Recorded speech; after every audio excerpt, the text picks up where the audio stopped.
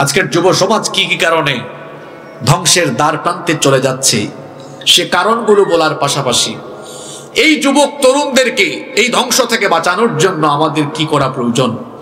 সেগুলো আমরা আজকের আলোচনা থেকে জানব, ইনশা আল্লাহ। নাম্বার ওয়ান, আজকের যুবক তরুণদেরকে ধ্বংস করার জন্য মাদক হচ্ছে একটি সাংঘাতিক ধরনের শয়তানি অস্ত্র। যেহেতু এই মাদকের দ্বারা ব্যক্তি, পরিবার, সমাজ, রাষ্ট্র সবকিছু ক্ষতিগ্রস্ত হয়।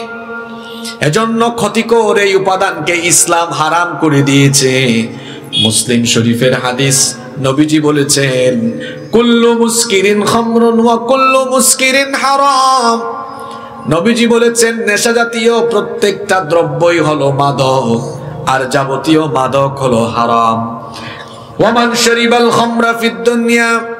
فمات وهو يدمنها لم يتب لم يشربها في الآخرة নবীজি বলেছেন মাদক হারাম জানা সত্ত্বেও যে ব্যক্তি এই মাদকের সাথে সম্পৃক্ত হবে সেই ব্যক্তি কেয়ামতের দিন জান্নাতের গন্ধ পাবে না মাদকাসক্ত অবস্থায় সে যদি দুনিয়ার সফর শেষ করে পরপারে পাড়ি জমায় ওই ব্যক্তি জান্নাতের গন্ধ পাবে শয়তান আমাদেরকে জাহান্নামের পথে ধাবিত করার জন্য যতগুলো মূলমন্ত্র বা যতগুলো উপাদান ব্যবহার করে আমাদেরকে ওয়াসওয়াসা দেয়, তার মধ্যে অন্যতম উপাদান হলো এই মাদক এবং জুয়া, তাছাড়া আরও অন্যান্য উপাদান।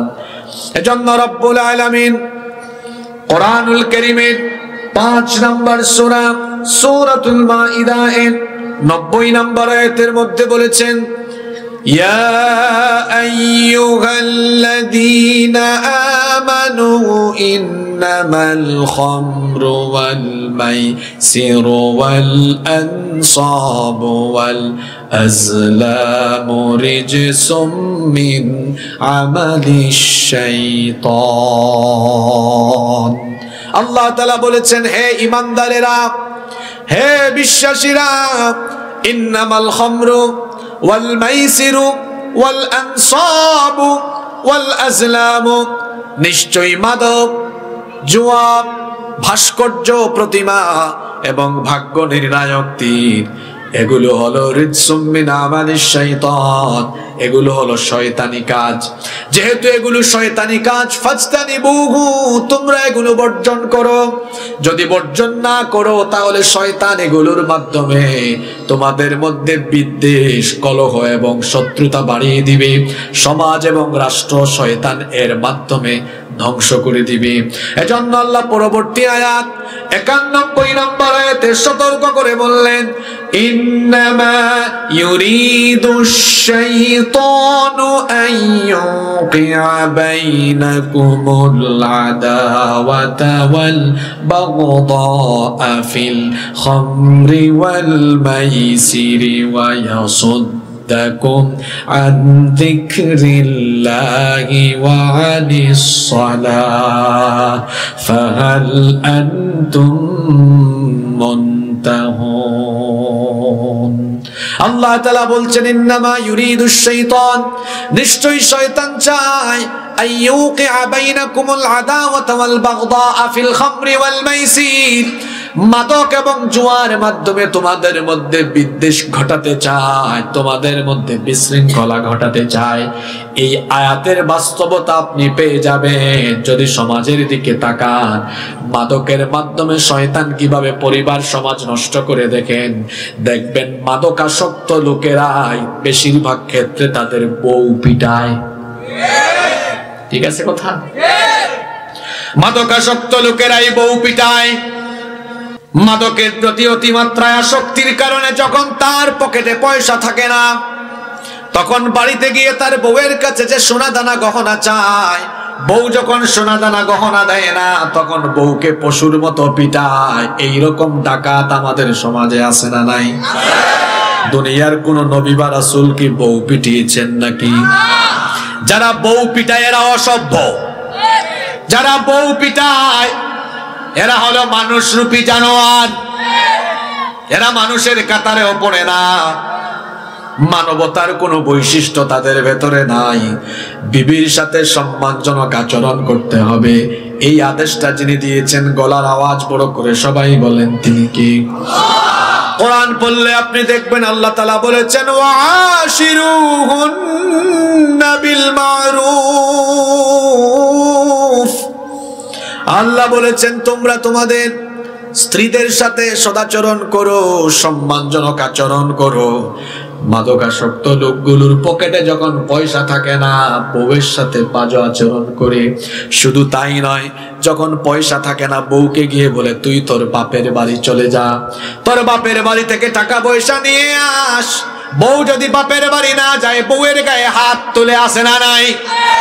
মাদকাসক্ত লোকেরা বেয়াদব হয়ে যায়। মাদকাসক্ত লোকেরা বাপের সঙ্গে বেয়াদবি করে, মায়ের সঙ্গে বেয়াদবি করে, এলাকার মুরব্বীদের সাথে বেয়াদবি করে। মাদকের জন্য যখন তার পকেটে পয়সা থাকে না মা বাবের কাছে টাকা চাইলে মা বাবের সাথে বাজে আচরণ করে। এমনকি মাদকাসক্ত ছেলে মেয়েরা এত খারাপ হয়, এরা চৌর হয়ে যায়। যখন তার কাছে পয়সা থাকে না, তখন বাপের পকেট থেকে পয়সা চুরি করে। তার কাছে টাকা না থাকলে দেখা যায়, ক্লাস পাড়া অথবা ফকিরা মুড়ে রাস্তায় দাঁড়িয়ে দাঁড়িয়ে তখন চুরি ডাকাতি কিংবা চিন্তাই করে। কারণ তার টাকা দরকার। এবং বিশেষ বিশেষ ক্ষেত্রে দেখা যায়, এই ছেলে মেয়েগুলো যদি তাদেরকে যদি মা বাবা শাসন করে, মাদকাসক্ত ছেলে মেয়েদেরকে দেখা যায় মা বাবা শাসন করলেও মাঝে মাঝে মাদকাসক্ত লোকেরা ছেলে মেয়ে দেখা যায় মা বাপকে জবাইও করে ফেলে। বাস্তব নমুনা হলো ওই যে পুলিশ ইন্সপেক্টরের মেয়ে ঐশী। মনে আছে? মাদকাসক্ত লোকদের কারণে দাম্পত্য কলহ বাড়ে এলাকার চেয়ারম্যান আর মেম্বার সাহেবদেরকে জিজ্ঞেস করে দেখেন জোয়াখুরো আর মাদক মাদকাসক্ত লোকেরা বউ পিটায় বউয়ের সাথে এদের ঝামেলা বেশি। বিচার করতে করতে তাদের অবস্থা খারাপ।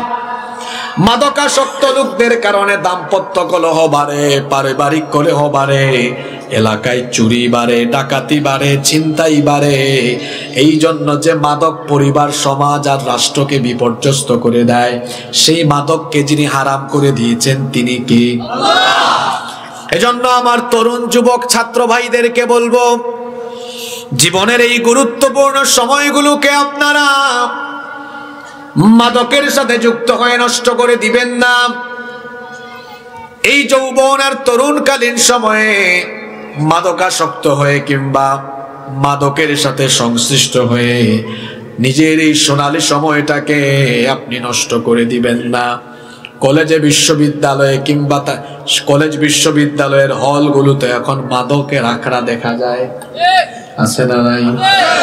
মাদকের সাথে সম্পৃক্ত দশ ব্যক্তিকে লানত দিয়েছেন মুহাম্মদ, আমরা বলি সাল্লাল্লাহু আলাইহি ওয়াসাল্লাম। হাদিসে এসেছে, লাআনা রাসূলুল্লাহ সাল্লাল্লাহু আলাইহি ওয়াসাল্লাম ফিল খামরি আশারা। মাদকের সাথে সম্পৃক্ত দশ ব্যক্তিকে নবীজি লানত দিয়েছেন। জুড়ে বলেন, কয় ব্যক্তি? পুরুষ মানুষের মতো সবাই বলেন, কয় ব্যক্তি?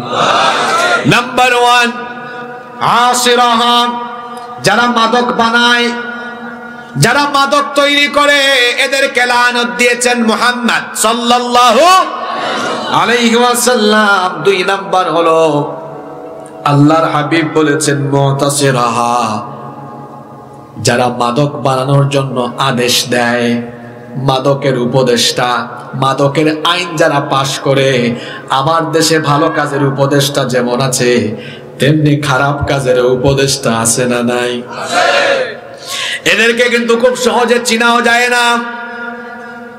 ভদ্র মানুষের সুরত ধরে এরা সমাজে বসবাস করে, মানুষের চোখে এরা ধুলাবালু দেয়। দেখা যায় দিনের বেলা খুব সুন্দর এক সমাবেশে মিটিং এ এসেছে। মিটিং এর নাম হলো ব্যানারে বড় করে লিখা মাদক বিরোধী সমাবেশ। মাদক বিরোধী সমাবেশের প্রধান অতিথি কিংবা সভাপতি। মাদকের বিরুদ্ধে দিনের বেলা বক্তৃতা মারে, আর রাতের বেলা আবার মাদকের যারা কারবার করে তাদের কাছ থেকেও ভাগ চায়। এই রকম লোক আমাদের সমাজে নাই। এরা কিন্তু খুব সুন্দর চেহারার। চেহারা সুরত ভালো, মুখও ভালো। এত সুন্দর সুন্দর বক্তৃতা করে মানুষের সামনে। মনে হয় যেন আল্লাহর ফেরেশতা। কিন্তু রাতের বেলা তলে তলে তাদের চেহারাটা বোঝা যায় এই রকম চোর ডাকাত হয়তো আমাদের আশেপাশেও থাকতে পারে। এরা মাদক কমিটির উপদেষ্টা। কিন্তু মানুষ এগুলো জানে না। দিনের বেলা মাদকের কারবারিদের বিরুদ্ধে বক্তৃতা করে। রাতের বেলা আবার মাদকের আবার রাতের বেলা দেখা যায় মাদকের কারবারিদেরকে লালন পালন করে। এই রকম মানুষ সমাজের রন্ধ্রে রন্ধ্রে ছড়িয়ে আছে। এদেরকেও লানত দিয়েছেন মোহাম্মদ সাল্লাল্লাহু দেখি তো মনে রাখছেন কিনা, মাদকের সাথে সম্পৃক্ত কয় ব্যক্তিকে লানত? সাত নম্বর হলো ও আকিল থামানিহা মাদকের জন্য যারা মূল্য গ্রহণ করে। প্রশাসনের অনেক ভাইয়েরা আছেন, ভালো মানুষ, কিন্তু হাতে গোনা কয়েকজন আছে। এরাও দেখা যায় মাঝে মাঝে মাদক পাইলে কয়, আমারে ভাগ দিও সাইরা দিব এর বাস্তব প্রমাণ হলো আপনাদের এলাকায় থাকা ওসি প্রদীপ। প্রদীপের প্রদীপের ভাই ব্রাদার এখনও আছে।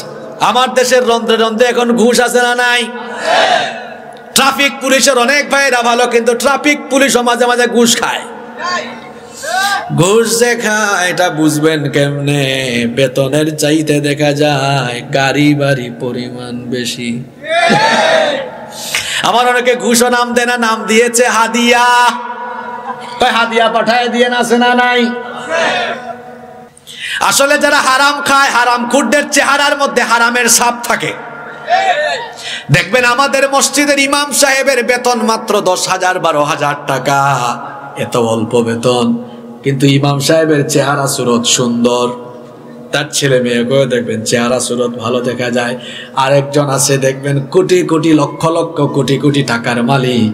এসি গাড়ি, এসি বাড়ি, সব সময় এসিতে থাকে। তারপরেও চেহারার দিকে তাকাইলে কেমন জানি সুরের মতো লাগে। লাগবেই তো, কারণ খায় তো মানুষের মাল। ঠিক কিনা বলেন? খায় তো চুরি করে, ডাকাতি করে টেন্ডার বাজি চাঁদাবাজি করে, ঠিক কিনা? নবীজি বলেছেন, এই মাদকের জন্য যারা বিনিময় গ্রহণ করবে, মূল্য গ্রহণ করবে, তাদের উপরে লানত। এরপরে নবীজি বলেছেন, ওয়াল মুস্তারি লাহা, ওয়াল মুস্তারাতু লাহু। নয় এবং দশ নম্বর হলো, যারা মাদক ক্রয় করে এবং মাদক বিক্রয় করে, এই দশ শ্রেণির ব্যক্তি যারা মাদকের সাথে সম্পৃক্ত, এদেরকে লানত দিয়েছেন মোহাম্মদ সাল্লাল্লাহু সবাই একটু জোরে বলেন তো, আমরা নবীজির লানত চাই, নাকি আমরা সুপারিশ চাই?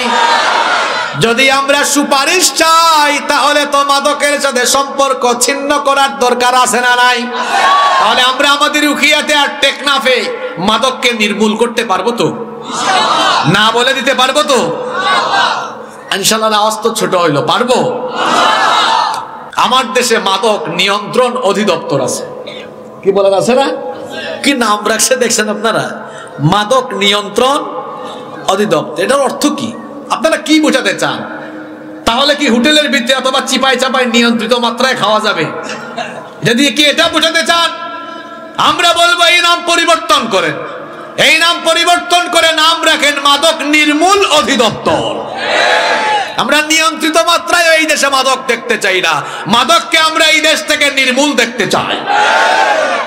আজকের যুবকরা ধ্বংস হওয়ার জন্য এই মাদকের ছড়াছড়ি আছে না নাই? আমার তরুণ যুবক ভাইদেরকে বলব, প্রিয় ভাইয়েরা আমার, মাদকের ছুবল থেকে নিজেকে বাঁচাও। এই সময়টা জীবনের সোনালী সময়। মাদক গ্রহণ করে নিজেকে নিঃশেষ করে দিও না। এই সময়ে পড়াশোনা করো, চাকরি বাকরি, ব্যবসা বাণিজ্য করো, নিজের কেরিয়ার সাজানোর চিন্তা করো, আর আল্লাহ তালার ইবাদত করে নিজেকে চরিত্রবান হিসাবে করে তোলার চেষ্টা করো। আজ আমার যুব সমাজ ধ্বংসের দুই নাম্বার কারণ হলো, আপনাদের মনোযোগ আছে তো? নাকি ঘুমায় গেছেন? যুব সমাজ ধ্বংসের দুই নাম্বার কারণ হলো, কাফির, বেঈমান, মুশরিকদের বিজাতীয়দের সংস্কৃতির অনুসরণ আর অনুকরণ। কাফির, বেঈমান, মুশরিকদের সংস্কৃতি আমাদের মুসলমানদের সমাজে এখন ঢুকে গিয়েছে। কীভাবে ঢুকেছে? আপনি এটা আপনার আশেপাশে তাকালেই বুঝবেন। আজকে ফেব্রুয়ারি ছয় তারিখ। আর আট দিন পরে আসতেছে একটা দিন। নামটা কি জানো চোদ্দই? ফেব্রুয়ারি। এই দিনটার নাম কি? আচ্ছা আপনারা ঠিক আছে, নাম দিয়েছেন যথার্থ। কিন্তু মূলত তিনি কি কয় আমাদের দেশে বাংলা এটাকে? বিশ্ব ভালোবাসা দিবস। এটাকে ইংরেজিতে কি বলে? এই যে আপনারা তাকান মাশা আল্লাহ খুব জ্ঞানী গুণী মানুষ আপনারা। এখন বলেন তো, এই যে নাম বাংলায় ভালোবাসা দিবস। তো ভালোবাসার ইংরেজি, আপনারা সবাই জানেন, শিক্ষিত মানুষ আপনারা। ভালোবাসার ইংরেজি কি? লাভ ভালোবাসার ইংরেজি লাভ আর দিবসের ইংরেজি ডে তাহলে ভালোবাসা দিবসের ইংরেজি হওয়া উচিত ছিল লাভ ডে এটার নাম ভ্যালেন্টাইন ডে কেন? নামের ভিতরে ভেজাল। এর ভিতরে আরও ভেজাল আছে না নাই? শোনো আমার ছাত্র ভাইয়েরা, তরুণ যুবক ভাইয়েরা বদমাসদের খপ্পরে পড়ো না। এটার প্রকৃত ইতিহাস জানো। আজ থেকে সতেরোশো পঞ্চাশ বছর আগে। কত বছর আগে? পঞ্চাশ না চাচা, সতেরোশো এক হাজার সাতশো পঞ্চাশ বছর আগের ঘটনা। দুইশো পঁচাত্তর খ্রিস্টাব্দে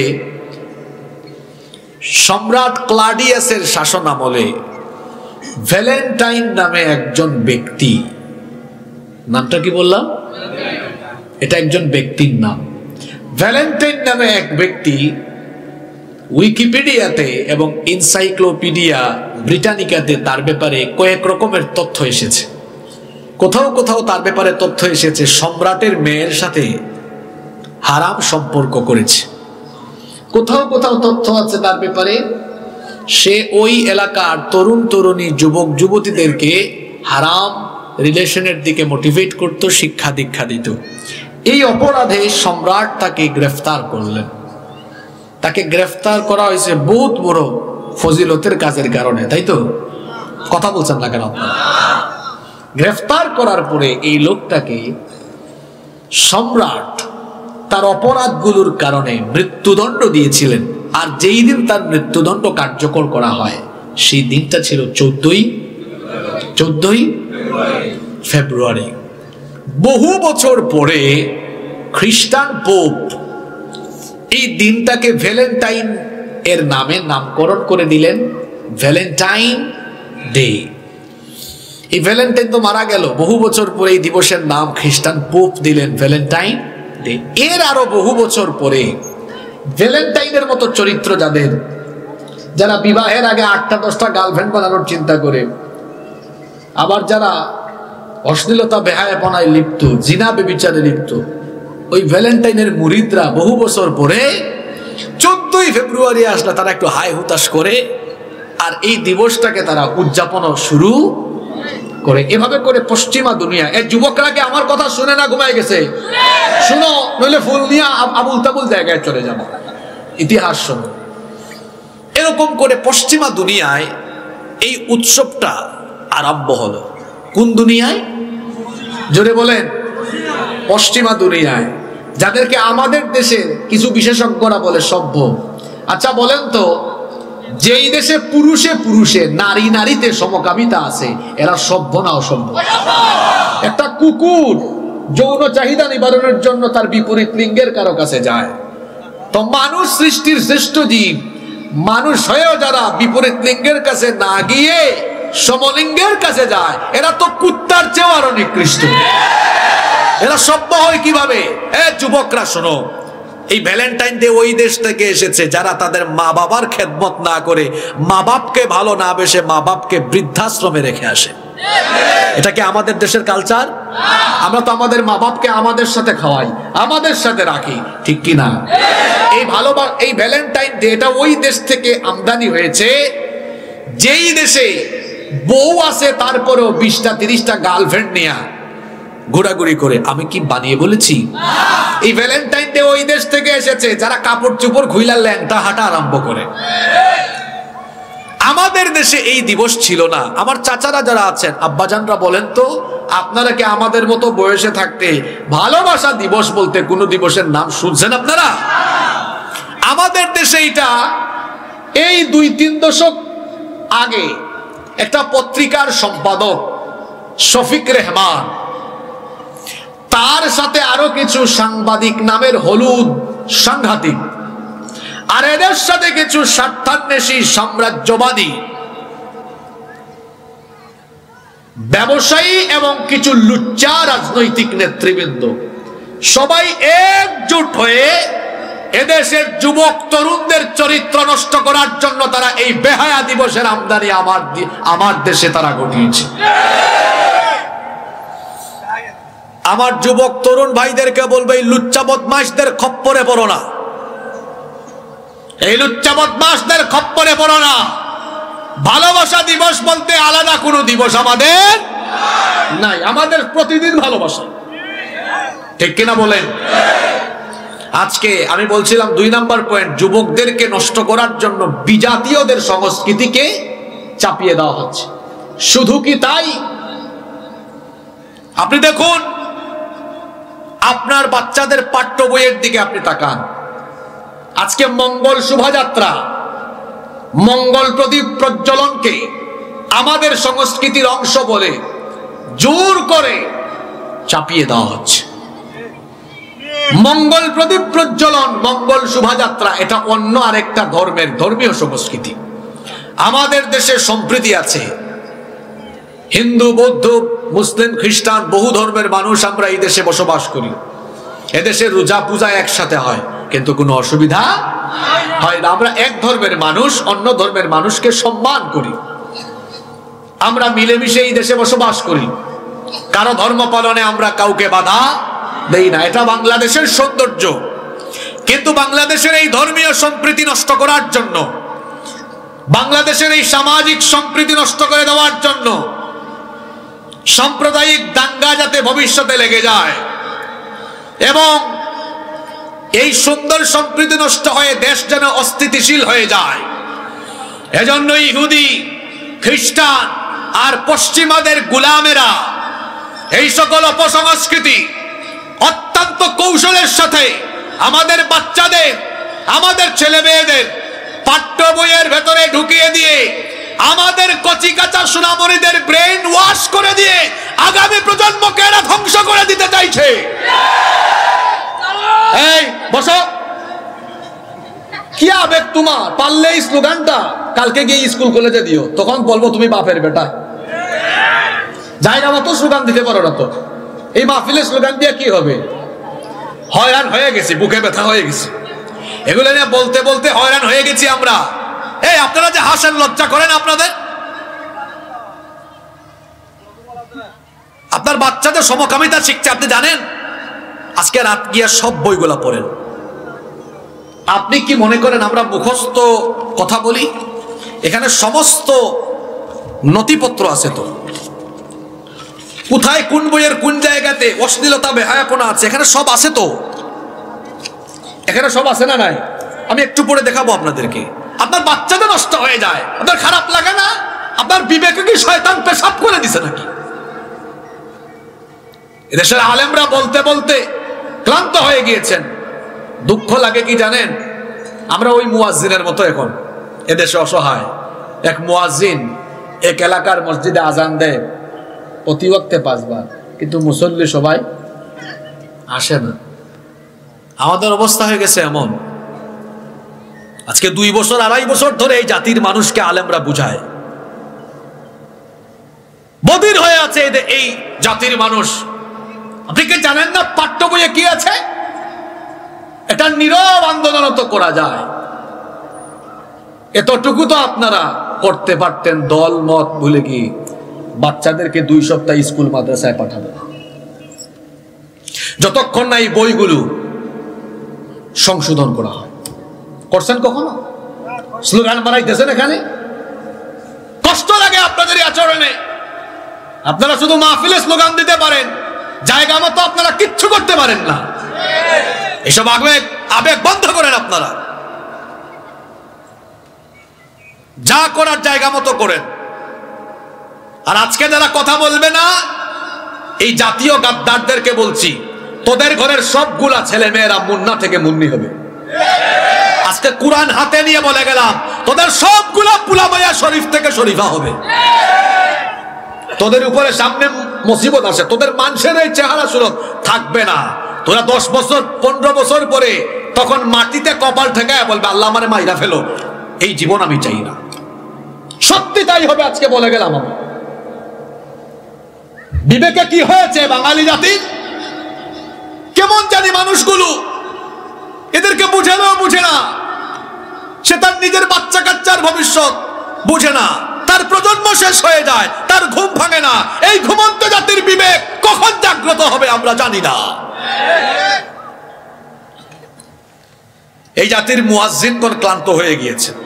খুব টায়ার্ড হয়ে গিয়েছেন। বলতে বলতে ক্লান্ত। আমরা আমাদের ইমানি দায়িত্ব পালন করছি। আপনাদেরকে এগুলো বলে সচেতন করা দরকার ছিল। করছি, আল্লাহর কাছে জবাবদিহি, তার পথ খোলা রাখছি। আল্লাহ আমাদের জাতিকে আমরা বুঝিয়েছি, তারা বুঝে নাই। তাদেরকে সত্যের পথে আমরা আহ্বান করেছি, তারা আসে নাই। আর কতকাল ঘুমিয়ে থাকবেন? আল্লাহ যেন আপনাদের এই ঘুমন্ত বিবেককে জাগ্রত হওয়ার তৌফিক দেন। আল্লাহ যেন বুঝার তৌফিক দেন আপনাদের। আমি যে কথাগুলো বলেছি, এগুলো কি বানিয়ে বলেছি? দেখেন তো আজকে এই মঙ্গল শোভাযাত্রা, আজকে এই মঙ্গল প্রদীপ প্রজ্বলন আমি যে বললাম, এগুলো বাচ্চাদেরকে শেখানো হচ্ছে, এগুলো আমাদের সংস্কৃতির অংশ। দেখেন তো আমি কি ভুল বলেছি? ভুল বলেছি এগুলো?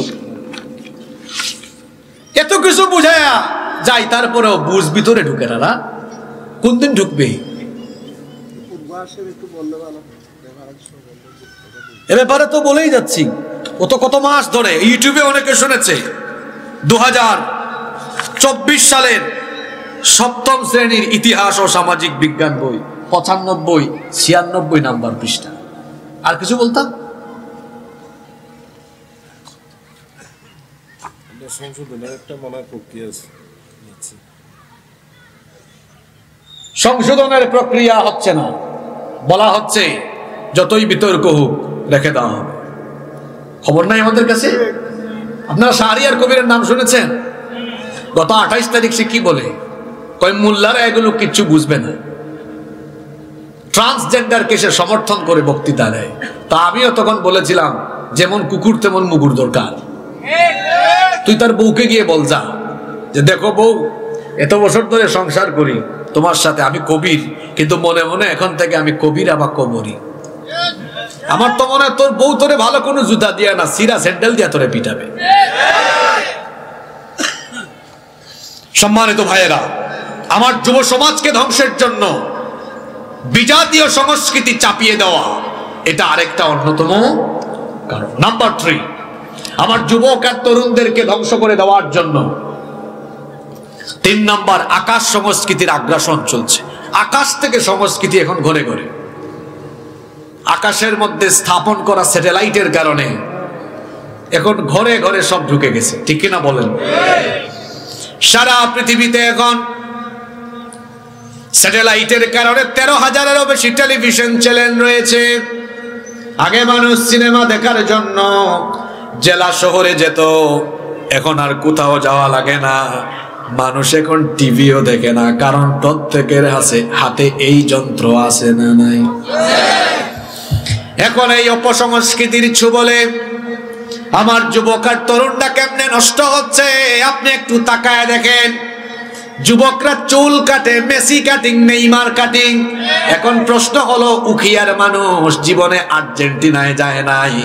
ব্রাজিলেও যায় নাই, মেসিকে সরাসরি দেখে নাই, নেইমারকে সরাসরি দেখে নাই, তাও মেসির কাটিং জানলো কেমনে?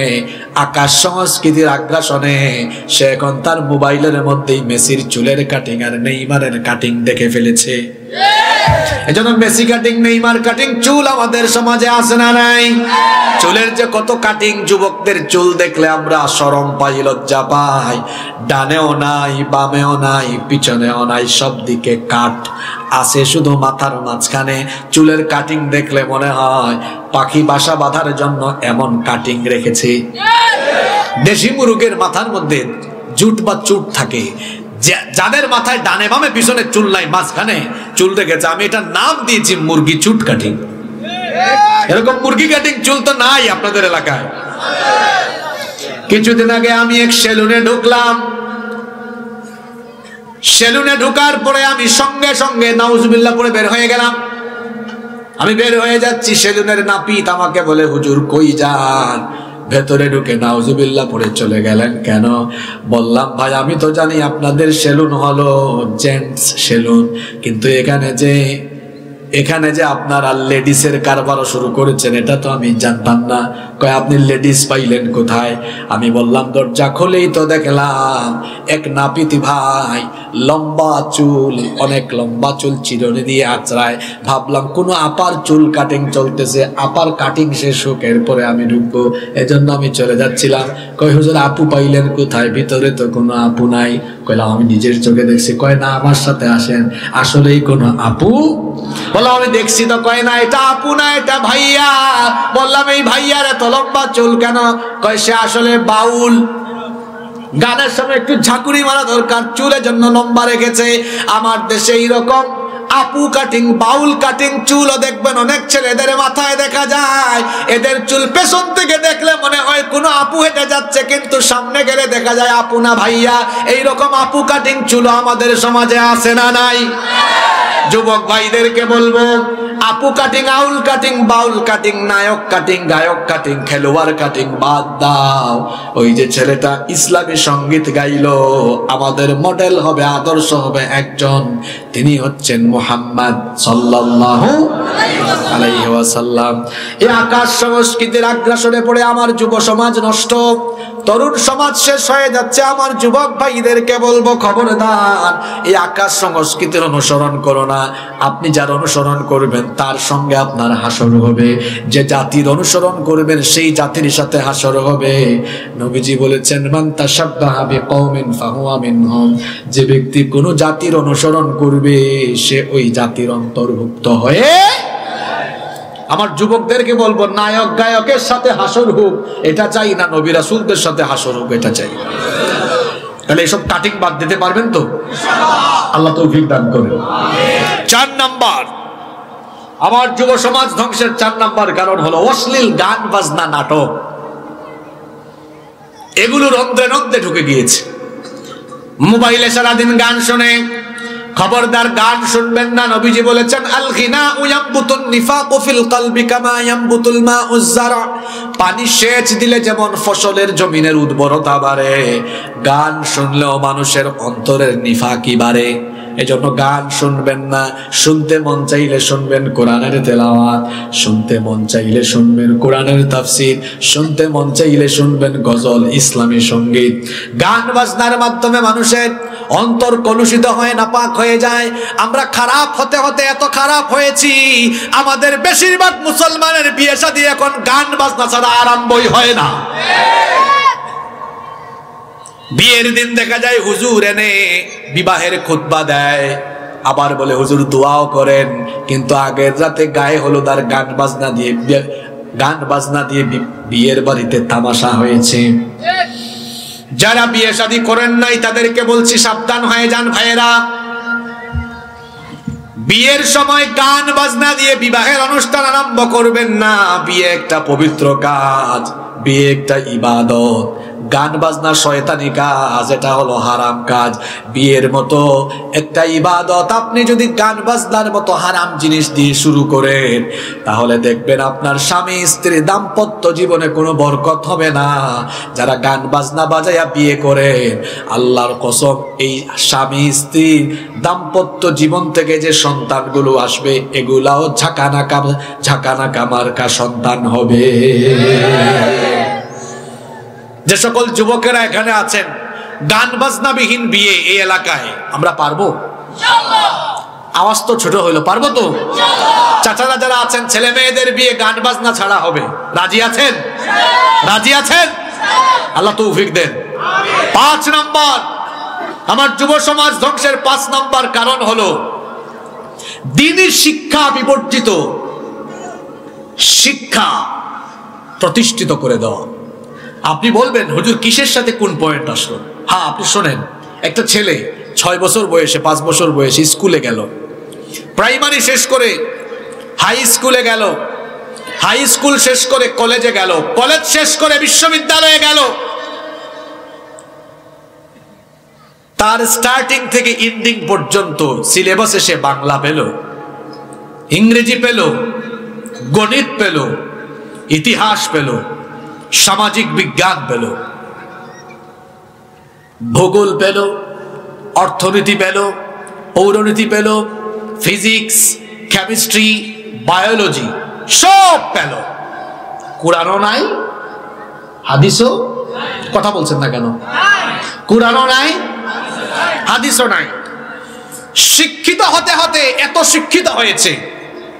যে জাতির শিক্ষা কারিকুলামে কোরআন, হাদিস থাকে না। কোরআন, হাদিস বিবর্জিত ওই শিক্ষা কারিকুলাম দিয়ে একটি জাতির সন্তানদেরকে শিক্ষিত বানানো যায়। কিন্তু বেশিরভাগ ক্ষেত্রে দেখা যাবে এরা শিক্ষিত চোর, শিক্ষিত ডাকাত আর শিক্ষিত সন্ত্রাসে পরিণত হয়।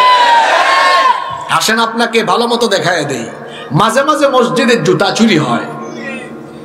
যে ব্যক্তি জুতা চুরি করে সেও একজন চোর, সেও একজন যে ব্যক্তি জুতা চুরি করে সে কি মাস্টার ডিগ্রি পাস? কথা বলেন না কেন আপনারা?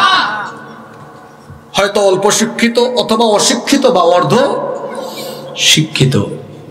আর ঢাকার অফিসে, বড় বড় অফিসে বসে, মাস্টার ডিগ্রি পাস করে এত বড় বড় অফিসে বসেছে, কলমের খুচায় কোটি কোটি টাকা, শত শত হাজার কোটি টাকা, লুটপাট করে বিদেশে বেগম পাড়ায় বাড়ি বানায়, চুরি করে ডাকাতি করে, বড় বড় চেয়ারে বসে লুটপাট আরম্ভ করে, সেও চোর। কিন্তু সে কিন্তু অর্ধ শিক্ষিত আর অশিক্ষিত চোর না। সে কি চোর? হ্যাঁ চোরে বলেন। শিক্ষিত চোর। এও চোর? ওই জোতা চোরও চোর। একটা অশিক্ষিত আরেকটা সমাজ আর রাষ্ট্রকে ধ্বংসের জন্য বিপদে ফেলবার জন্য জুতা অশিক্ষিত জুতা চুর। এ বেশি বিপজ্জনক না শিক্ষিত চোর বেশি বিপজ্জনক? তো এ বেটা এত চুরি করে কেন? এত পড়াশোনা করেছে? এত চুরি করে কেন? তার কারণ হলো, তার শিক্ষা জীবনের শুরু থেকে শেষ পর্যন্ত অন্তরে আল্লাহর ভয় আসবে, আখিরাতের জবাবদিহির ভয় আসবে। এ ধরনের শিক্ষা তার সিলেবাসের কোনো জায়গায় ছিল না বলে এই শিক্ষা তাকে শিক্ষিত চোর ডাকাতে পরিণত করেছে। কথা কি বোঝা যায়? কোরআন হাদিস তো নাই নাই। নব্বই শতাংশ মুসলমানের দেশে উচিত ছিল সকল শিক্ষার সাথে দিনী শিক্ষা বাধ্যতামূলক করা। সেটা তো নাই নাই। দুঃখের জায়গা হলো, যে মাদ্রাসাগুলোতে আমরা আমাদের সন্তানদেরকে পাঠাই, আলেম বানানোর জন্য, যে মাদ্রাসাগুলোতে বাচ্চাদেরকে আমরা পাঠাই, আমাদের বাচ্চারা মুত্তাকি পরহেজগার হওয়ার জন্য। হাত দিতে দিতে আমাদের কলিজায় হাত দেওয়া হয়েছে। হ্যাঁ? এটা কোন শ্রেণির বই? দাখিল সপ্তম শ্রেণি, স্কুল না মাদ্রাসা?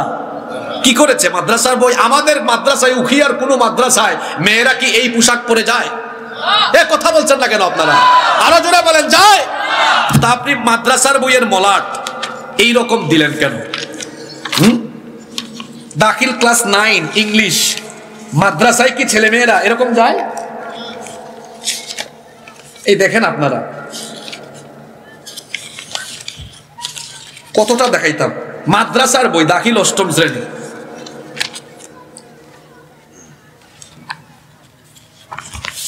ঢুল, তবলা, হারমোনিয়াম একতারা দুতারা সেতারা ফন্ড তারা, কোনো তারা বাদ নাই। কোনো মাদ্রাসায় কি এগুলো আছে? কথা বলছেন না কেন? মাদ্রাসায় আছে কি? জোরে বলেন! জোরে বলেন! মাদ্রাসায় আছে কোরআন, আছে তাফসির, আছে হাদিস। আমি নিজেই স্কুলে পড়েছি। আমি মাদ্রাসায় পড়েছি, আমি বিশ্ববিদ্যালয়ে পড়েছি। আমরা যখন মাদ্রাসায় পড়েছি, আমাদের হুজুররা আমাদেরকে মাদ্রাসায় কোরআন শিখিয়েছেন, নামাজ শিখিয়েছেন, দোয়া শিখিয়েছেন, মাসআলা শিখিয়েছেন। কোন মাদ্রাসায় ঢুল তবলা নাই, হারমোনিয়াম নাই। তাহলে মাদ্রাসার বইয়ের মলাটে ঢুল তবলা, হারমোনিয়ামের ছবি ঢুকেই দিল কারা? এই জাতির মানুষ কি আরও ঘুমিয়ে থাকবে? আর আপনারা বলছেন এগুলো জায়গা মতো বলা হচ্ছে না কেন? এই দেখেন, আমার কাছে প্রতিবেদন আছে। আমাদের মুরব্বী আলেমরা অনেক আগে এই প্রতিবেদনগুলো জায়গা মতো জমা দিয়েছেন। মেল করা হয়েছে। কোন সদুত্তর? কোন সদুত্তর? করা হবে, কিন্তু করা অর্ধবার্ষিক পরীক্ষা চলে আসতেছে। এনসিটিভি থেকে এখানে শিক্ষক যারা আছেন, তারা জানেন, শিক্ষকদের হাতে মূল্যায়নের ইয়েও এসেছে। কীভাবে বাচ্চাদেরকে মূল্যায়ন করবেন? মূল্যায়ন শুরু হয়েছে। আপনি দেখুন, একটা জাতিকে ধ্বংস করে দেওয়ার জন্য শিক্ষা ব্যবস্থা, এটাতে হাত দিলেই হয়। আপনি অবাক হয়ে যাবেন যে আমাদের বাচ্চাগুলো কি শিখছে আপনি দেখুন। বইয়ের নাম, শিল্প ও সংস্কৃতি, একশো তিন নম্বর পেজ। স্বাস্থ্য সুরক্ষা বই, সাতানব্বই নম্বর পৃষ্ঠা। বলব আমি? এখানে বলা হয়েছে, বাবা মা তার সন্তানকে জড়িয়ে ধরবে। বাবা মা তার সন্তানের হাত ধরবে, কপালে চুমু খাবে, এটা নিরাপদ স্পর্শ। কথা তো ঠিকই আছে। নিরাপদ স্পর্শ না? এরপরে বলা হচ্ছে, ঠিক এমনি করে যদি তুমি ক্লাসে ভালো করায়, ক্লাসে ভালো করায় আমার শিক্ষক মাথায় হাত বুলিয়ে দেন, এটাও নিরাপদ স্পর্শ। অর্থাৎ ছেলেকে যদি শিক্ষক মাথায় হাত বুলায় দেন, বুকে জোড়ায় ধরে, অসুবিধা আছে? অসুবিধা আছে? একটা মেয়ে যখন বালেগা হয়ে যায়, ধরুন আপনার মেয়ের কথা আমি বলছি আপনার মেয়েকে ধরেন ক্লাস নাইন, টেনে বা ইন্টারমিডিয়েটে, এটা কিন্তু ক্লাস সেভেন বা এইটের বই। ক্লাস সেভেন এইটের মেয়ে তো সে মোটামুটি বালেগা হয়ে গেছে। তো আপনার একজন পুরুষ শিক্ষক যদি মাথায় হাত বোলায় দেন, এটা ইসলামী শরীয়তে জায়েজ আছে তো? জোরে বলেন। এতটুকু বলে শেষ নাই। পরে কি বলা হয়েছে? বিশ্বস্ত বন্ধুর হাত ধরে ঘুরে বেড়ালাম। এটাও নিরাপদ, স্পর্শ। শোনেন যার অন্তরের মধ্যে মরিচিকা এখনও মুনাফিকি আছে। আমি একেবারে তার অন্তরে হিট করে কথাটা বলি। আপনার মেয়ের হাত ধরে যদি, আপনার মেয়ে যে স্কুলে কলেজে যায়, আপনার মেয়ের হাত ধরে যদি আপনার এলাকার ছেলে, ওই ক্লাসের ছেলে হাঁটাহাঁটি করে, খুব মজা লাগবে, তাই তো? কথা বলছেন না কেন? মজা লাগবে? বলা হচ্ছে তোমার বিশ্বস্ত বন্ধুর হাত ধরে হাঁটা, এটাও নিরাপদ স্পর্শ। আবার একটু ব্যাখ্যা করা হয়েছে। তবে আমার মা কপালে চুমু দিলেও আমি হয়তো আমার বন্ধুকে চুমু দিতে দিব না। আচ্ছা বলেন তো, একটা ছেলে আর একটা মেয়ে, হাত ধরে যদি হাঁটাহাঁটি আরম্ভ করে, ওই জিনিস বাকি থাকবে পরে? কথা বলেন না কেন? কলা দেখাইয়া এই জাতিকে মূলা খাওয়াই দিবেন। আমরা বুঝি কিছু খাইয়া বড় হয় নাই। আমরা বুঝি কিচ্ছু বুঝি না। তারপরে আপনি দেখুন, অন্তরা ও ফাহিমের প্রেমের গল্প।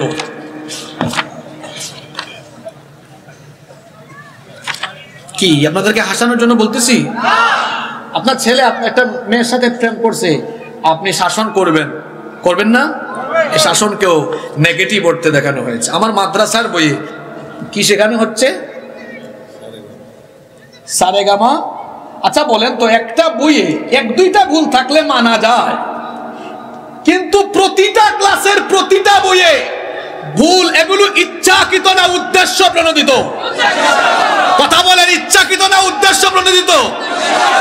আমি তো সব আজকে বলতে পারব না, এখানে কত পৃষ্ঠা আমার কাছে। একটা ভুল হইলে, দুইটা ভুল হইলে, তিনটা ভুল হইলে মানা যায়।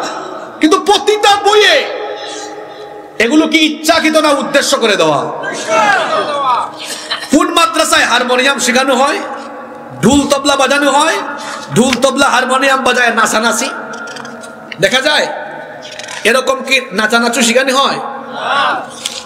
এই বই কার বাপের পয়সা ছাপানো হয়েছে? কথাও বলতে পারেন না। আমরা কথা বলা হয়তো বলতে বলতে বন্ধ করে দিব, কিন্তু মনে রাখবেন, এমন অন্ধকার আসবে আপনাদের জন্য। এই অন্ধকার থেকে আর বের হতে পারবেন না আপনারা। হুজুররা আপনাদের মতো তো ঠেকায় পড়বে না। কারণ প্রত্যেক হুজুরদের করে হুজুর নিয়েও আছে। তারা হয়তো তাদের ছেলে মেয়েকে ঠিক বানাই ফেলবে। আপনারা কি করবেন? আপনারা কি করবেন? আর যারা আপনাদেরকে সুন্দর করে বলে, এটা আমাদের জাতির ভালোর জন্য, এটা আমাদের দেশের জন্য আমরা সমৃদ্ধ, যোগ উপযোগী কারিকলাম তৈরি করেছি। এসির বাতাস খায়া খায়া যে বলে, তার বাপের পয়সায় এসি কিনা হয়েছে? কার পয়সার এসি? যে বক্তব্যটা দিল, আর যারা আপনাদেরকে ভালো ভালো বুঝাইল, যান। পা ধরে বলতেছি, যান গিয়া দেখেন এদের ব্যক্তি জীবন। একটার ছেলে মেয়ে এই দেশে পড়াশোনা করে না, সবার ছেলে মেয়ে বিদেশে পড়াশোনা করে। তাইলে ওরাও বাঁচলো, হুজুররাও? হুজুররা বাঁচলো না? বিপদে কারা? তা আপনারা তো চুপচাপ। পাটা বুতাইলের মাঝখানে তো আপনারাই আছেন। কথা কি বোঝা যায়? জাতির এই ক্রান্তি লগ্নে আজ যারা চুপচাপ থাকবে, এরা জাতীয় গাদ্দার। এরা জাতীয় মুনাফিক। এই ট্যাক্স, এই বইগুলো এদেশের চোদ্দ কোটি মুসলমানের ঘাম ঝরানোর ট্যাক্সের পয়সায় ছাপানো হয়েছে। যারা দায়িত্ব নিয়েছে, তারা এদেশের মানুষের ট্যাক্সের পয়সায় তাদের বেতন হয়, তাদের গাড়ির পেট্রোলের খরচ। এদেশের মানুষের ট্যাক্সের পয়সায় হয়। তাদের এসি গুলো এদেশের মানুষের ট্যাক্সের পয়সায় হয়। এদেশের মানুষের ট্যাক্সের পয়সায় এসির বাতাস খায়া। এদেশের মানুষের ট্যাক্সের পয়সায় গাড়িতে চড়ে এদেশের মানুষের ট্যাক্সের পয়সায় বেতন খায়া। এদেশের মানুষের ট্যাক্সের পয়সায় বই ছাপাইয়া বইয়ের ভিতরে শরীফ শরীফা, সমকামিতা আর ধর্মহীন শিক্ষা দিয়া। জাতির ঘরে এই শিক্ষা চাপাই দিবা। বরদাস্ত করা উচিত নয় এদেশের মানুষের। এই ঠিক ঠিক এখানে না বল, না বলিয়া পারলে কার্যকরী কিছু করেন, না পারলে বসে থাকেন। বিপদ যখন আসবে, বিপদেই পড়বেন এই বিপদ থেকে আওয়ামী লীগও রক্ষা পাবে না বিএনপিও রক্ষা পাবে না জাতীয় পার্টিও রক্ষা পাবে না সবার উপর বিপদ আছে। আপনি বলবেন, কেমনে? আসেন, এক মিনিটে বুঝাই দিই কেমনে? বইয়ার ভিতরে ঢুকানো হয়েছে শরীফ থেকে একটা বাচ্চা যখন ক্লাস সিক্সে সেভেনে এটা পড়ে, শোনেন, বাচ্চা যখন ছোটবেলায় যেটা শিখবে, তার মন মানসিকতা ওইভাবেই কথা ঠিক আছে কিনা? বলে উঠবে। আপনি আজ, আপনি বলছেন, আমি আওয়ামী লীগ করি, আমি বলব না। বিএনপি যারা করেন কয়, না, আমি এই ইস্যু নিয়ে কথা বলব না। জাতীয় পার্টি করে, কয়, না, আমি এদিকে নাই। তো পরিস্থিতি কি হতে পারে? একটু শোনায় যায় আপনার ছেলে মুন্না, একদিন আপনাকে এসে হয়তো বলতে পারে, আব্বু, আমাকে মুন্না দেখলে কি হবে? মনে মনে আমি মুন্নি। মনে মনে? এই মনে মনে হওয়া মুন্নিরে যদি বিয়ে দেওয়া লাগে, ছেলে ছেলে কারও সাথে, তো দেখা যাবে বাসর ঘড়িকা দুটোই তো এক জাত। সমকামিতা ছড়িয়ে গেল। ক্লাস সিক্সে সেভেনে যদি এগুলা থাকে, ছেলে মেয়েদের মন মানসিকতা এরকম হলো, একটা ছেলে কলেজে বা ইউনিভার্সিটিতে গেল। মনে করেন মুন্না, তার কলেজে বা ইউনিভার্সিটিতে হোস্টেলে সিট দরকার। সে বলল, স্যার, আপনি আমাকে দেখছেন মুন্না, কিন্তু মনে মনে আমি মুন্নি। সুতরাং সিট আমাদেরকে মেয়েদের হোস্টেলে দেন। মনে মনে বাবা মুন্নিকে যদি মেয়েদের সাথে থাকতে দেওয়া হয়, অবস্থা কি হবে? এক শেয়াল মুরগির খামারের আশপাশে এসে বলে, দেখো মুরগি, আমাকে তোমরা শেয়াল দেখছ, কিন্তু মনে মনে আমি মুরগি। মুরগিরা যদি বলে, যে বেটা শেয়াল, মনে মনে যেহেতু মুরগি, থাকুক আমাদের সঙ্গে রাতে থাকতে দাও। সকালবেলা একটা মুরগি থাকবে? সব সব খায় ভালাইব শেয়াল মনে মনে মুরগি হয়ে মুরগির খামারে ঢুকলে যা হবে। মুন্না মনে মনে মনে মনে মুন্নি হয়ে মহিলা হোস্টেলে ঢুকলে তাই হবে। আর সম্পদ বন্টনে আরও বড় ফেস লাগবে। আপনার মেয়ে মুন্নি বলবে, আব্বু, এখন আপনি সম্পদ বন্টন করবেন। এখন আমি মনে মনে মুন্না। দেন দেখি করে। কি, ঠিক আছে কথা? আপনাকে রাগ করছেন আমার কথা নিজের সন্তানের কথা ভাবেন। আপনি নিজের সন্তানের কথা ভাবেন। আল্লাহ, তুমি এই জাতির মানুষের বিবেকের মধ্যে এগুলা ঢুকায় দেওয়ার ব্যবস্থা করো। হয়রান হয়ে গেছি আমরা। পাঁচ নাম্বার, আমার যুবক তরুণদেরকে ধ্বংস করার জন্য আরেকটা উপাদান। শিক্ষার নামে অশিক্ষা, কুশিক্ষা। নাম্বার সিক্স ছয় নম্বর, নগ্নতা বেহায়াপনা, নগ্ন, অর্ধনগ্ন, পোশাক পরিচ্ছদে সয়লাভ ঘটিয়ে দাও এখন এরকম পোশাক আছে না নাই? ছেলেরা হাফ প্যান্ট পরে রাস্তাঘাটে ঘোরাফেরা করে, অথচ তার সতর হলো হাঁটুর নিচ পর্যন্ত। হাঁটুর উপরে হাফ প্যান্ট পরে পরে রাস্তাঘাটে বেহায়ার মতো অনেক ছেলেরা ঘুরে বেড়ায় আছে না নাই? নবীজি বলেছেন আল হায়া উশবাতুম মিনাল ঈমান। লজ্জাশীলতা হলো ঈমানের অংশ, যার মধ্যে হায়া নাই, যার মধ্যে শরম নাই, তার মধ্যে ঈমানও সুতরাং আমি আমার ভাইদেরকে বলব, খবরদার, এরকম বেহায়া বেসরমের মতো হাফ প্যান্ট পরে ঘোরাঘুরি করো না। আবার কাপড় চুপড় নামাতে নামাতে অনেক মানুষ এত নামায়া দেয়, লুঙ্গি, পায়জামা, প্যান্ট নামাতে নামাতে জুতার নিচে নামায়া দেয়। এক লোক হাঁটাহাঁটি করছে রাস্তা দিয়ে, লুঙ্গি এত নিচে, লুঙ্গি যখন পরে হেঁটে যাচ্ছে, দেখা যায় এলাকার রাস্তা এই রকম ঝাড়ু হয়ে যাচ্ছে। আছে না নাই? আমি একবার এরকম একজনকে পেলাম, জিজ্ঞেস করলাম, ভাই, এই গ্রামের মানুষ কি আপনাকে গ্রামের ঝাড়ুদারের দায়িত্ব দিয়েছে নাকি? কয়, হুজুর, আপনি ফাইজলামি করেন? কইলাম, না, ফাইজলামি করি না। লুঙ্গি যেহেতু নিচে পড়লেন, হাঁটার সময় তো দেখা যায় ধুলাবালু ময়লা সব লুঙ্গির সাথে যায়। এজন্য ভাবলাম, এলাকার মানুষ আপনাকে ঝাড়ুদারের দায়িত্ব দিল কিনা কয় না? আমি এমনিই পড়ি এটা স্টাইল বলেন তো, যে স্টাইল করতে গিয়ে সকল ধুলাবালু ময়লা আবর্জনা কাপড় চুপড়ে লেগে যায়, এটা কি কোনো স্টাইল হলো নাকি? আল্লাহর হাবিব বলেছেন, ওই ব্যক্তির দিকে কেয়ামতের দিন আল্লাহ তাকাবেন না। তার সঙ্গে আল্লাহ কথা বলবেন না, এমনকি তাকে আল্লাহ পবিত্র করবেন না এবং জাহান নাম থেকেও মুক্তি দিবেন না। সাহাবিরা বললেন, নবী কোন দুর্ভাগার কথা আপনি বলছেন? নবীজি তখন বললেন, আমি ওই দুর্ভাগার কথা বলছি যে ব্যক্তি তাকনুন নিচে কাপড় ঝুলায়া হাঁটে। আমরা কি টাকনুন নিচে কাপড় পরবো? না উপরে পরবেন পরবেন তো? এই দিকে পুরুষের অবস্থা, এই আর নারীদের অবস্থা তো আরও সাংঘাতিক। নারীরা এখন ড্রেস পরে ওয়াকা ওয়াকা। কি ওয়াকা ওয়াকা আছে না? ওয়াকা ওয়াকা পাখি কিরণমালা আরও যে কত জাতের ড্রেস আছে। আমি যখন জীবনে প্রথমবার এগুলোর নাম শুনলাম এক গার্মেন্টস ব্যবসায়ী ভাইকে বললাম, ভাই কি এমন পোশাক আশাক দেশে আসলো? শুনতেছি এই পোশাক কিনে না দিলে বউ তার জামাইয়ের সাথে রাগ করে মেয়ে তার বাপের সাথে রাগ করে। মনে হয় পোশাকটা বড় ফজিলতের পোশাক হবে একটু দেখান তো। পোশাক দেখাইলো দেখলাম এমন এমন পোশাক এত অশ্লীল পোশাক কিছু কিছু পোশাক আছে এমন। হাতের এই জায়গা থেকে একদম কবজি পর্যন্ত নেট। আমার বাড়ি সিলেটে জানেন আপনারা? ওই যে ঠেলা দিয়া মাছ মারে একটা জাল আছে। আপনারা এলাকা আঞ্চলিক ভাষা এটাকে কি বলেন লুই আমাদের সিলেটে বলে ঠেলা জাল। চিনছেন তো আপনারা? তো আমি বলি যারা এই জাল মার্কা ড্রেস কেনার জন্য পাগল হয়ে যায় এত পয়সা খরচ করে এই ড্রেস কেনার কি দরকার? লুই জালটা সিরা তারপরে তো সিলাই করে ওইটাই করতে পারবে আমার বোনদেরকে বলব এইরকম নগ্ন, অর্ধনগ্ন পোশাক পরে বের হবেন না। পর্দা করে ঘর থেকে বের হতে হবে আদেশ টাকার। নাম্বার সেভেন যুবক আর তরুণরা ধ্বংস হয়ে যাওয়ার জন্য সাত নাম্বার কারণ হলো অসৎ বন্ধুদের সাথে মিলামিশা করা। কথায় আছে, সৎ সঙ্গে স্বর্গবাস, অসৎ সঙ্গে সর্বনাশ একটা কাপড়, কাপড়ের মধ্যে আপনি আতর লাগালেন আতর মাখা এই কাপড় যখন আপনি আলমারিতে রেখে দিবেন, দেখবেন আতরের গন্ধ অন্য কাপড়েও চলে যায়। আবার যদি সিগারেট খাওয়ার সময় সিগারেটের ধোয়া কোনো কাপড়ে লাগে, সিগারেটের দুর্গন্ধযুক্ত ওই কাপড় যদি আলমারিতে রেখে দেন, দেখবেন এই দুর্গন্ধ অন্য কাপড়ের সাথেও মিশে যায়। কি বুঝাতে চাইলাম? এই উদাহরণের জন্য দিলাম, আপনি নামাজি মানুষ চরিত্রবান মানুষের সাথে থাকলে দেখবেন ধীরে ধীরে বেনামাজিও নামাজি হয়ে যাবে। দেখবেন অসৎ মানুষ সৎ হয়ে যাবে। আর বেনামাজি অসৎ ব্যক্তির সাথে থাকতে থাকতে দেখবেন তার অসৎ আর চরিত্রহীনতার দুর্গন্ধ আপনার গায়ে এসেও ধীরে ধীরে লাগবে, ঠিক কিনা?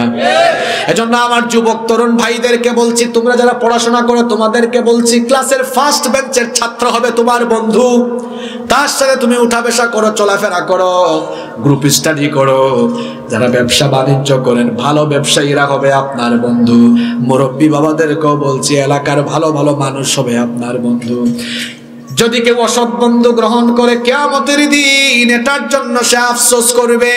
কোরআনে কেরিমে আল্লাহ বলেছেন কোরআনুল করিমের পঁচিশ নম্বর সুরা সুরাতুল ফুরকানের সাতাইশ নম্বর আয়াতে আল্লাহ তালা বলেছেন ওয়ায়াউমা ইয়া'আদ্দু الظالم على يديه يقول يا ليتني اتخذت مع الرسول سبيلا আল্লাহ তালা বলছেন সেই দিন সীমা লঙ্ঘনকারী পাপিষ্ট ব্যক্তিরা দুই হাত কামড়িয়ে কামড়িয়ে আফসুস করবে আর বলবে হায় আফসুস যদি আমি অসৎ বন্ধুদেরকে গ্রহণ না করে যারা রাসুলের আদর্শ গ্রহণ করে চলতো, তাদেরকে যদি বন্ধু বানাতাম, আমার জন্য সেটা ভালো হতো। আফসোস করে করে তারা আরও বলবে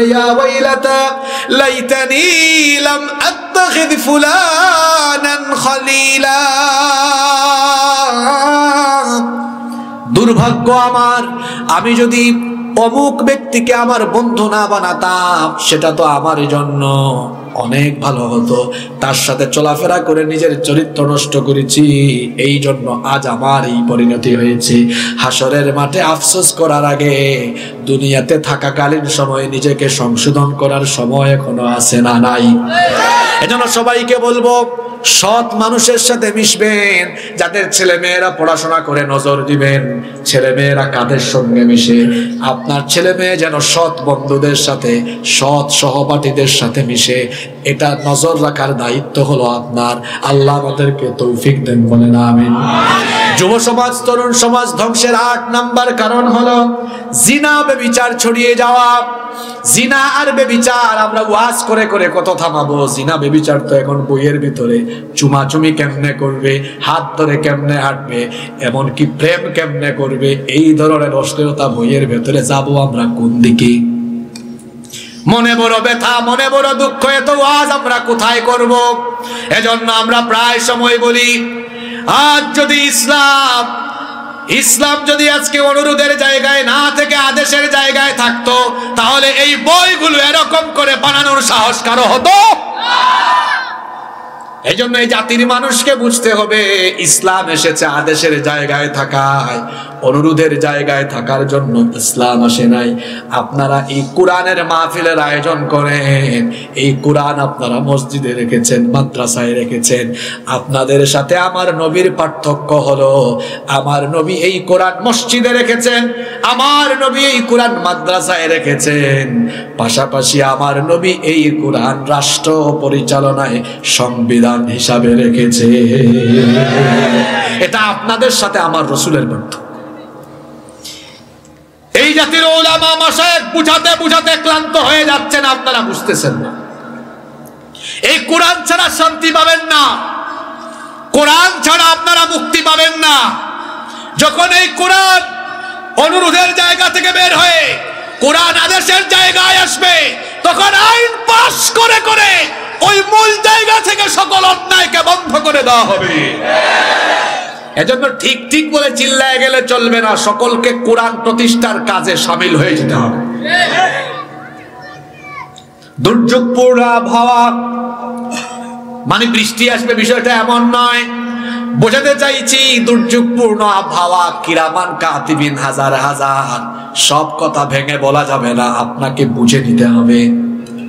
নাম্বার নাইন যুব সমাজ ধ্বংসের নয় নম্বর কারণ হলো তথ্য প্রযুক্তি মোবাইল আর ইন্টারনেটের অপব্যবহার। এখন প্রত্যেকের হাতে হাতে মোবাইল আছে না নাই? ইন্টারনেট আর মোবাইল পেয়ে আমার যুবক তরুণরা দেখা যায়, অশ্লীলতা, বেহায়াপনার দিকে চলে যায়।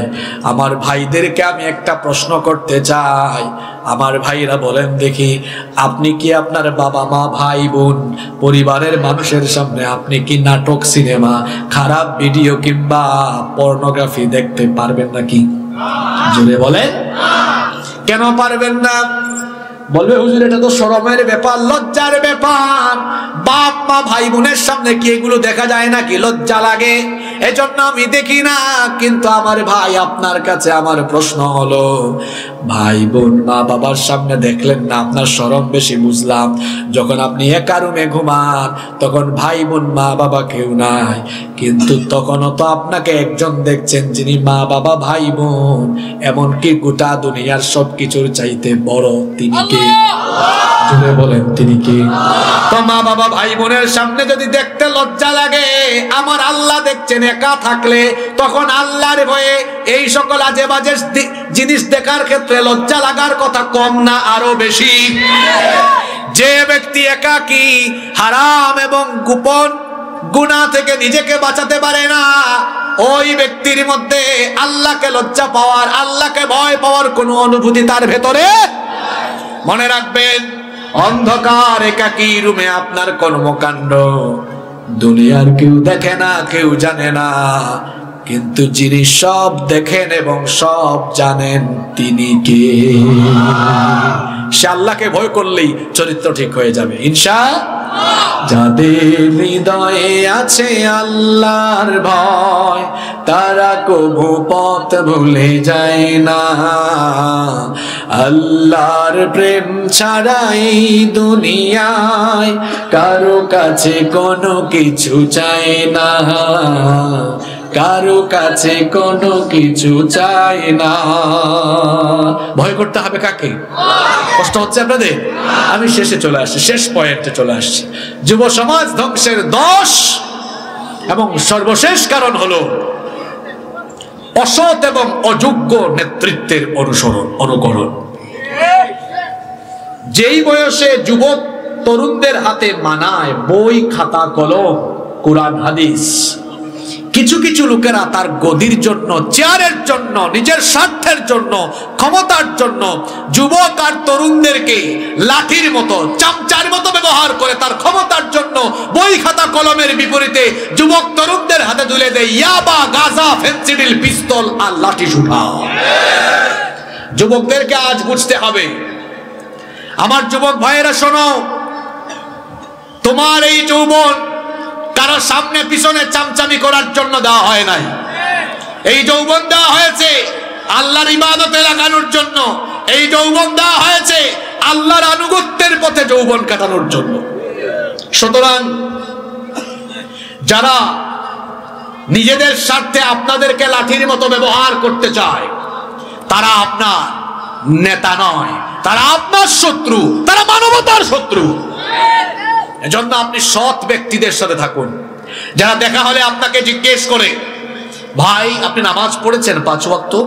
জামাতে নামাজ পড়েন কিনা? যারা আপনার সাথে সাক্ষাৎ হলে আপনাকে বলে, ভাই, মাঝে মাঝে তাহাজ্জুদ পড়েন কিনা?